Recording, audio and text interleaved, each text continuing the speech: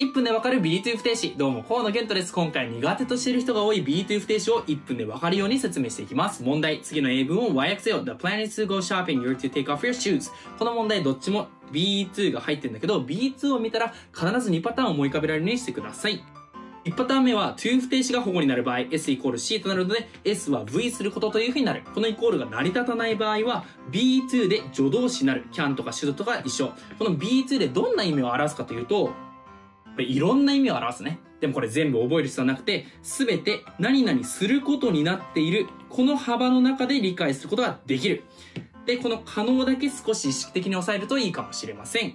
じゃあ問題で言うと、The plan is to go shopping. これはプランイコール to 不定しか成り立つので、プランはショッピングに行くことです。二つ目はイコールが成り立たないから、あなたは靴を脱ぐことになっている。だから靴を脱がなきゃいけないという風になるわけです。以上。